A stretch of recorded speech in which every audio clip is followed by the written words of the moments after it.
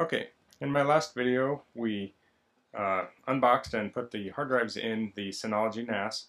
In this video we're going to do the initial setup. So I have the NAS plugged into uh, power and I have the network plugged into my switch and I'm going to press the power button and uh, it will flash and it should beep when the uh, whole thing is loaded.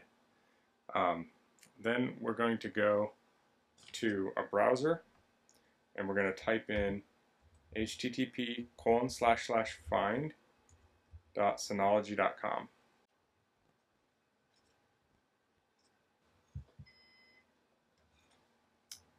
Okay, it just beeped. Okay, so it found it, and if I hit uh, to the side, we can also see I have the DS918 on the same network, so I'm going to make sure I'm using the correct one, the disk station. Um, so I'll hit connect here. We have an end user license agreement. I'll agree to that. And we see a setup button. I'll hit setup. And it says install the disk station, disk station manager. So disk station manager is essentially like uh, the Mac OS or Windows, um, but it's for the Synology NAS. It's a um, Linux-based system. So I'll say install now and it says all the data on the hard drives 1 and 2 will be removed during installation. Say I understand and I'll hit OK. So this says it will take approximately 10 minutes so I will be speeding up the video um, occasionally during this process and I'll try and put a note on the screen if I remember.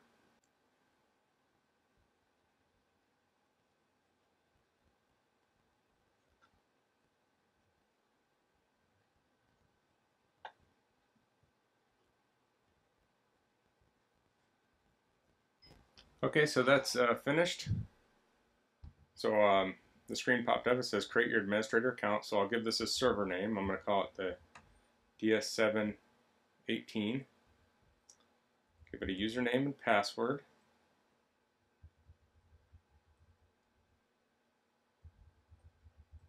I'm giving it a weak password right now. Uh, I'll change that later.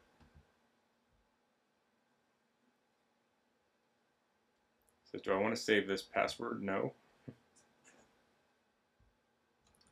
okay, and it's asking about updating. Um, it says uh, you can protect your disk station important data. You can install the latest DSM version automatically. You can install important updates automatically or get notified of DSM updates. Um, I think I'm going to have this one install automatically and it says run smart tests to check the health of the drives periodically. I do want to do that and I want to enable bad sector warnings for the drive. And it says number of bad sectors is 50. You could probably put that down to one or two, but I'll just leave it at 50. If you have an opinion of that, maybe leave that in the comments. Um, also, um, I'll put a link in the description to my playlist on Synology videos that I have, and I'll put a link to this NAS in there, and if this video is helpful to you and you need to buy a NAS, and if you use that link, that's my Amazon affiliate link. It helps me out a little bit and doesn't cost you anything extra.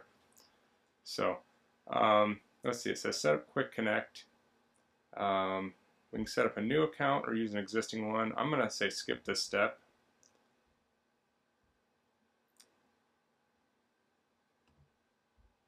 Okay, and it says uh, share my Synology device's network location. Allow me to locate via find Synology.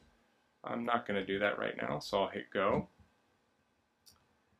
Um, I don't want any device analytics right now. And it's going to go through this little uh, kind of tutorial thing.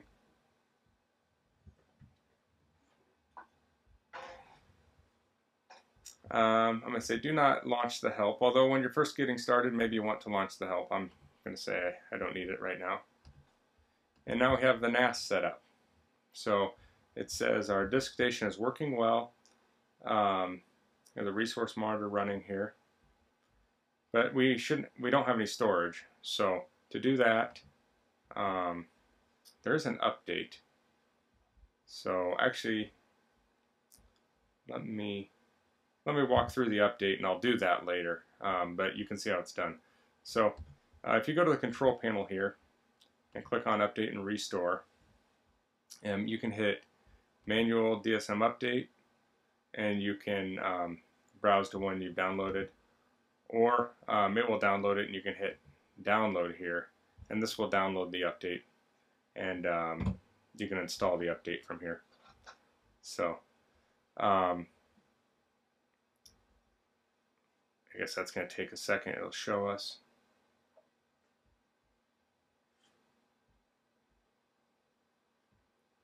Okay so it'll say update now but I'm not going to, going to do that right yet first thing I'm going to do is go into the storage manager.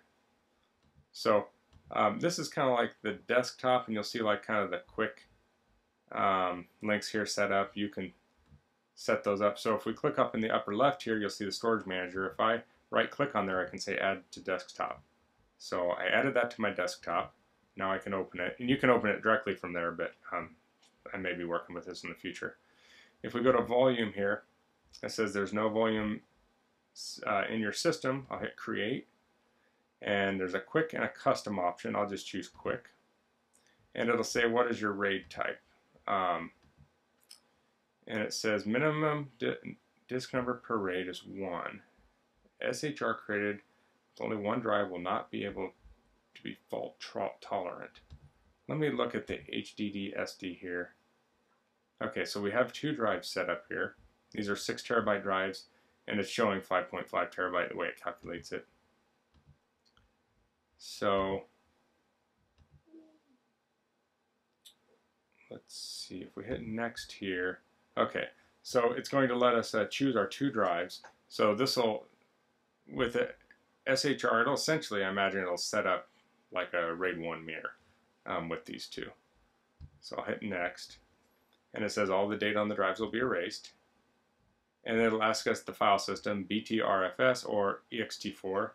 So I use the uh, BTRFS, the recommended one. And then we can hit apply. And this um, could take quite a while to um, do this. So it's creating the file system.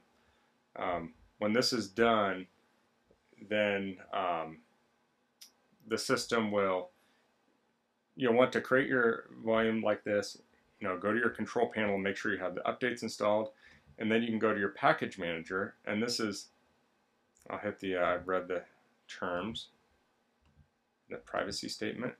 So this is like the uh, like the app store for the uh, NAS so um, it does have some packages installed and you'll want to update these and then you can go to all packages and you can install whatever packages you want. There's uh, you know audio station, there's like chat, all sorts of um, apps.